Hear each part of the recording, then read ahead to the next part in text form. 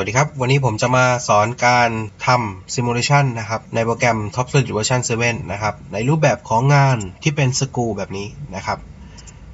งานที่เป็นสกูอย่างนี้นะครับ ผมจะสอนวิธีการนะครับ เมื่อเราทำการกดนะครับ ของตัวขันตัวนี้นะครับ ให้มันออกนะครับ มันก็จะออกตามมือเราเลยนะครับ หรือทำการหมุนเข้านะครับ มันก็จะเคลื่อนที่พร้อมๆกันแบบนี้นะครับ หรือจะวิธีการกด play simulation นะครับ เห็นไหมครับ วิธีการง่ายๆนะครับ เดี๋ยวผมจะมาสอนนะครับ วิธีการนะครับเมื่อเราได้ทำการเขียนชิ้นงานนะครับขึ้นมานะครับ ไม่ว่าจะเป็นชิ้นงานปากกาหรือจะเป็นชิ้นงานในรูปแบบของสกูแบบนี้นะครับ วิธีการนะครับ เดี๋ยวผมจะทำการลบในส่วนของ simulation ที่ผมได้ทำการสร้างก่อนหน้านี้ออกไปก่อนนะครับโอเค ผมได้ทำการลบไปแล้วนะครับ เมื่อเราได้ทำการ assembly ชิ้นงานเป็นที่เรียบร้อยแล้วนะครับ เราจะเห็นได้ว่าชิ้นงานเราไม่สามารถที่จะทำการขยับได้นะครับ ในตามมือเรา วิธีการให้ทำการเลือกมาที่โหมดของ mechanism นะครับ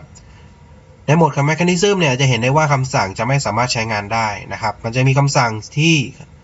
เป็นคำสั่งเดียวที่สามารถใช้งานได้ก็คือคำสั่ง mechanism นะครับ ให้เราทำการกดติ๊กเข้าไปนะครับ กดโอเคมันมัน ก็จะทำการเปิดในส่วนของคำสั่งอื่นๆเข้ามานะครับ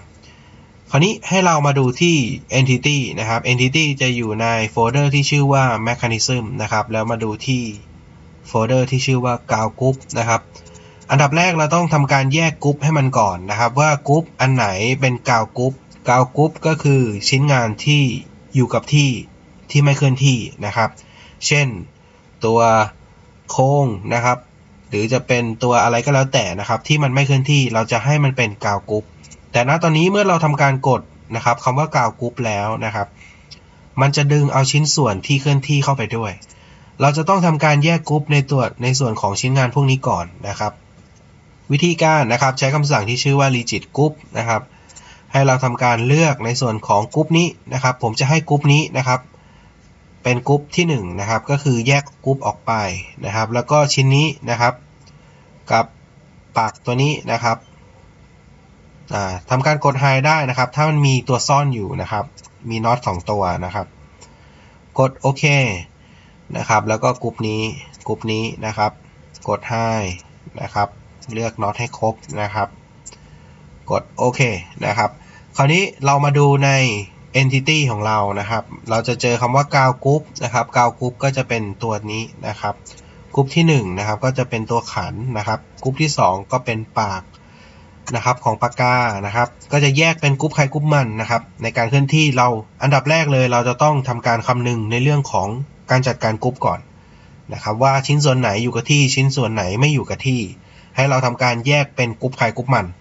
นะครับ วิธีการนะครับ ก็สอนไปแล้ว คราวนี้ นะครับ เมื่อเราได้ทำการแยกกรุ๊ปเสร็จแล้วนะครับ ผมจะทำการให้ mechanism มัน โดยตามหลักความเป็นจริงแล้วไอ้ตัวก้านหมุนตัวนี้นะครับ มันจะทำการหมุนรอบแกนนี้ใช่ไหมครับ ผมจะใช้คำสั่งที่ชื่อว่า revolve นะครับ revolve จะเป็นคำสั่งที่ให้ความสัมพันธ์ระหว่างนะครับสตัวนี้นะครับของตัวโค้งกับตัวขันนะครับ วิธีการ first นะครับ rigid group นะครับ เราก็เลือกเป็นตัวนี้นะครับ แล้ว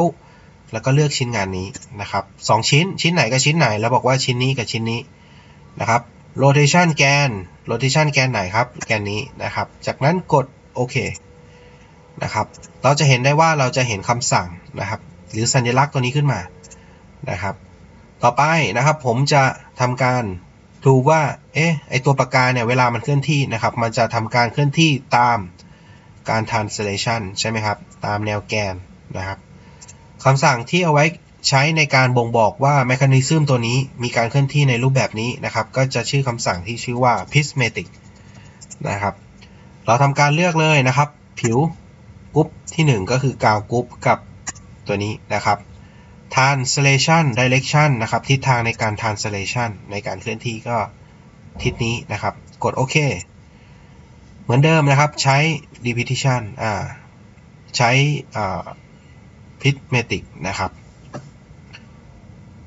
ครับก็ใช้คำสั่ง prismatic นะครับ กดคลิกที่กาวกรุ๊ปแล้วก็คลิกชิ้นงานนี้นะครับ translation direction อันไหนนะครับ กดโอเคนะครับ เมื่อเสร็จแล้วนะครับ เราก็จะได้ตัวนี้ขึ้นมา มันจะมีคำสั่งที่ไว้ใช้ในการทดสอบการเคลื่อนที่นะครับ จะชื่อว่าคำสั่งตัว constant configuration นะครับ ให้เราทำการกดคลิกเข้าไปนะครับ เราสามารถที่จะทำการหมุนทดสอบดูได้นะครับว่า การหมุนหลุดหรือเปล่านะครับ การเคลื่อนที่ถูกต้องหรือเปล่านะครับ เห็นไหมครับ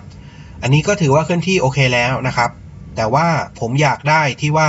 เวลาหมุนตัวนี้ไปทางขวานะครับ ก็ให้ชิ้นงานเข้าไปพร้อมๆกันนะครับคำสั่งตัวนั้นจะอยู่ใน mechanism นะครับให้เรากดออกตัวนี้ไปก่อนนะครับ ให้เรายืนค่าเดิมนะครับ design configuration เราจะเจอคำสั่งตัวนี้นะครับที่ชื่อว่า school นะครับ school นะครับผมจะให้ความสัมพันธ์ระหว่าง 2 ตัวนี้นะครับ โดยผมจะเลือกตัวแขนนี้ก่อนนะครับ ตัวแกนแล้วก็เลือกตัวนี้นะครับ rotation แกนคือแกนไหนนะครับ เราสามารถใส่พิษได้นะครับ ว่าพิษตัวนี้เราจะให้เท่ากับเท่าไหร่ ผมเอาหยาบๆแล้วกันเท่ากับ 5 นะครับ แล้วก็เป็นเกียวซ้ายนะครับ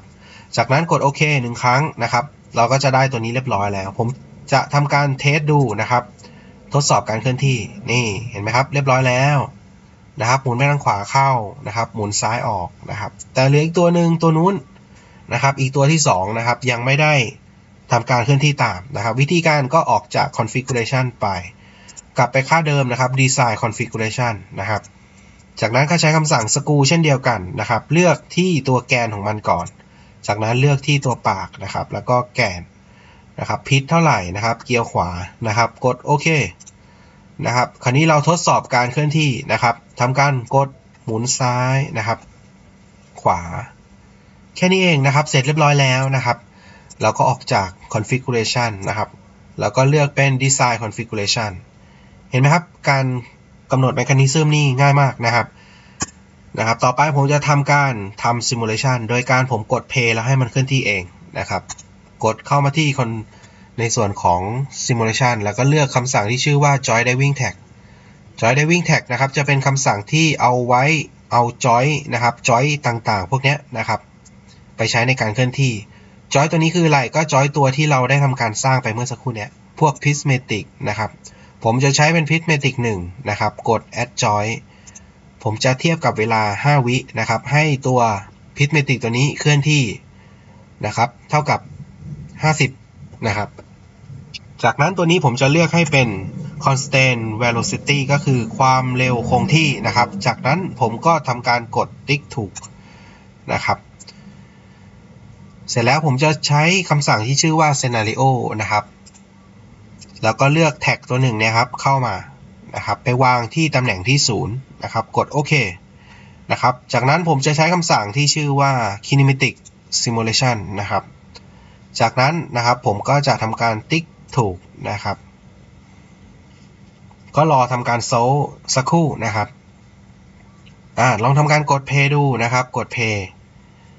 นะครับปึ๊บนะครับเห็นไหมครับ มันก็จะทำการเคลื่อนที่ออก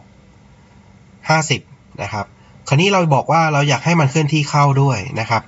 ไม่ยากนะครับ ให้เรามาแก้ใน entity แล้วชื่อว่า track ตัวนี้ เราจะทำสร้างเองอีกอันหนึ่งก็ได้ แต่ถ้าเป็นผมผมจะไม่สร้าง ผมจะทำการกดคลิกขวาแล้วก็ copy copy ในส่วนของตัวเดิมนะครับ ตัวนี้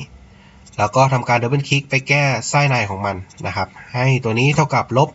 50 นะครับอ่านะครับ ก็ประมาณนี้กดโอเค แล้วทำการไปแก้ที่ scenario edit ตัว copy ตัวนี้ขึ้นมา